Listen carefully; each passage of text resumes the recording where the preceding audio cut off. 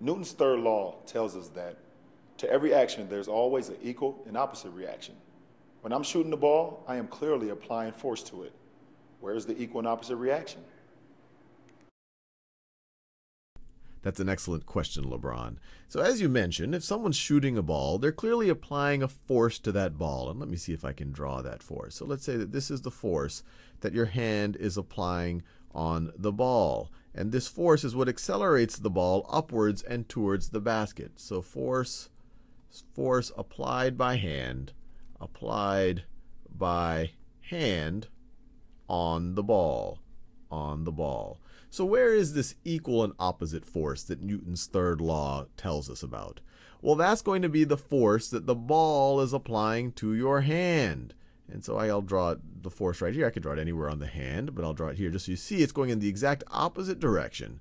It's going in the exact opposite direction, and it has an equal magnitude. So it's an equal but opposite force. Opposite is the direction. So just like that. So that is the force. That is the force.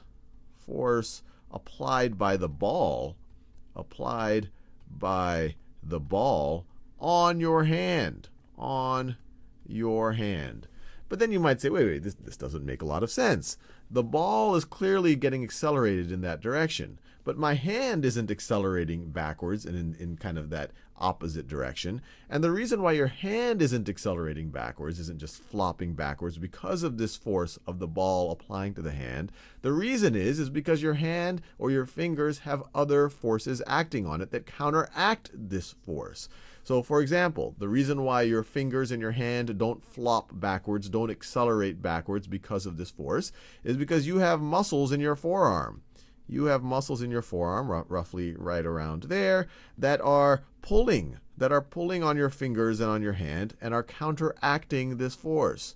So they are counteracting that force. But they say, okay, okay, fair enough. I see why my fingers aren't flopping back and why my hand isn't flopping back. It's because of these muscles right over here. But why isn't my entire forearm being pushed or accelerated back by this force applied by the ball on my hand?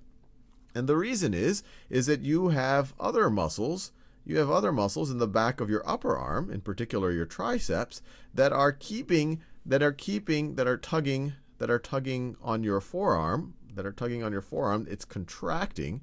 They're contracting that more than offset any net force on your forearm that may, would want to make it go that way. It's pulling on your forearm, and in fact, that's what's contracting and allow your forearm to go in actually that direction. And we could keep going. I mean, the, the fun or the complicated thing about Newton's third law is, well, if every force has an equal and opposite force, well, every one of these we have have an equal opposite force. And we can keep going on as, okay, there's an equal and opposite force of the, the, the tricep tugging on the forearm. Well, that's the forearm tugging on the tricep. But why doesn't the tricep move? Well, the tricep is attached to other parts of your body. And we could keep going on and on and on.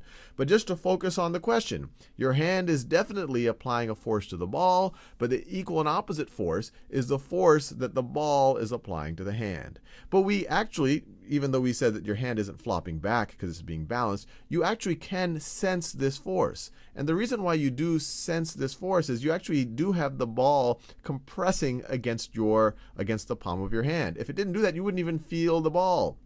So that gives you at least a, a, sensory clue of Newton's third law. It's if Newton's third law wasn't true, you wouldn't even feel the ball. You wouldn't even have the ball compress against the skin of your palm.